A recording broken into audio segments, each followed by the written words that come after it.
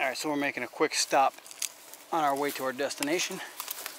But I just passed this canal that's loaded with hydrilla. And you, you know, you can't not fish a canal loaded with hydrilla. Especially when you have so few places that have hydrilla around here.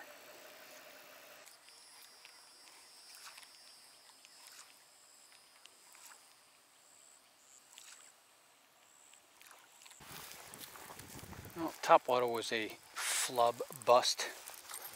Let's try a spinner bug. Yeah, I'm not even seeing any fish. This is craziness. This canal looks phenomenal.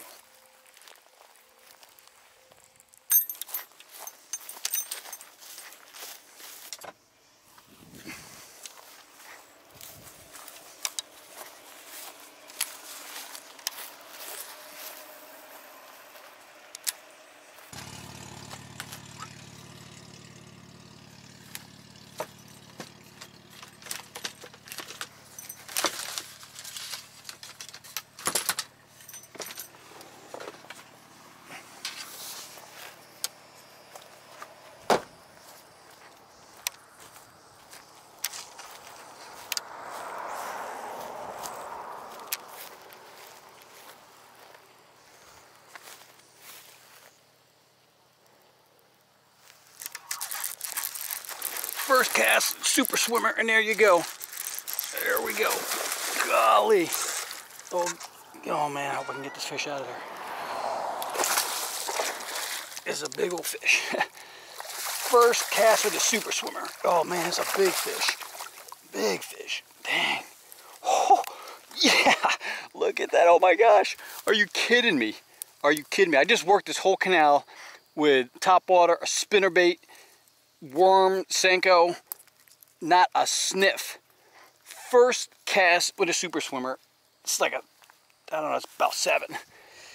Good night. Look at that. You see that? Come on, fish. I can't. It's hooked really good. Ah, there we go. Look, super swimmer. Lily pad right there, baby. Bruiser. Bruiser getting the bruiser. Dang. That's freaking awesome. Look at that fish. Look how fat that fish is. Yeah, the fish is every bit of, well, not quite seven. It might be, eh, I don't know, it might be seven. Probably about six and three quarters. Pretty close. Look at that fish. Oh man, that is so sweet. I mean, first cast with the super swimmer. I saw it flash on it.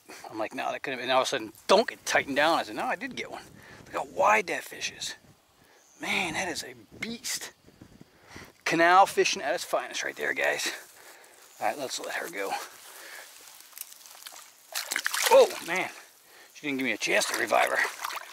Yes. that is so sweet. All right, let's get another one.